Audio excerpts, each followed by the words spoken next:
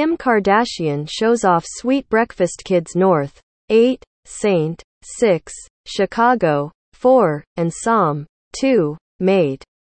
Prison reform activists Kim Kardashian's kids made an adorable breakfast for prison reform. Activists after the future lawyer joined them on a hike. The Keeping Up with the Kardashians star shared selfies from the outing as she continues on her goal to free those who have been wrongly incarcerated. Kim, 41, took to her stories on Thursday after the hike to share a snap of the breakfast her kids prepared for the prison reform activism group. The reality star posted a photo of a slew of coffees and bowls of Lucky Charms as she wrote in the caption, My kids made all the guys this morning hot chocolate after our hike.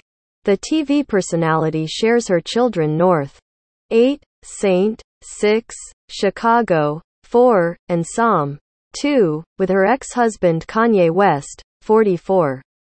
Meaningful hike earlier in the day, Kim posted a rare and unfiltered, makeup-free selfie during her emotional adventure with the group of prison reform activists.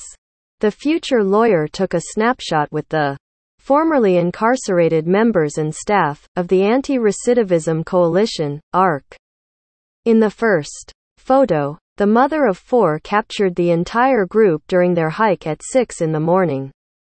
Kim revealed that the former prisoners became university students, film students, firefighters, artists. The KKW Beauty founder mentioned that they are now giving back to their communities. The E star was moved by their personal stories and became so proud of them. In a second snap, Kim extended her arm and took an extra wide selfie to get everyone in the shot. The group posed together as the morning sun beamed in the background. Kim decided not to glam up for the hike as she pulled her hair back tightly. Taking a stand back in June 2018, a clip from the documentary titled The First Step revealed how the Hulu star and her friend CNN host Van Jones had joined forces ahead of their meeting with former President Donald Trump to discuss prison reform. In the clip, Van told her, the president can stay with this issue and get stronger on it or it can fall off the radar screen. We just have to keep this candlelit. It doesn't have to be the biggest torch in the room, but it's got to stay lit. A source told Page Six. Van was blown away by Kim's poise and persuasiveness in such a critical meeting with Trump that moment truly solidified their relationship and laid the groundwork for them to keep working together to reform the criminal justice system.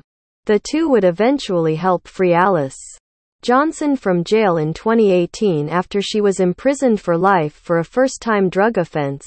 Kim's legal journey Van became become her legal mentor and introduced her to Erin Haney, who helped the aspiring lawyer prep for the California State Bar in 2024. Van previously praised Kim's legal abilities during an interview with Ellen DeGeneres. He said, her dad was a lawyer and she always wanted to be a lawyer and when she got a taste of what she could do using her platform, using her brain, she hasn't let up. Kim returned to law school last month after announcing that she passed the baby bar legal exam after previously failing it three times in two years.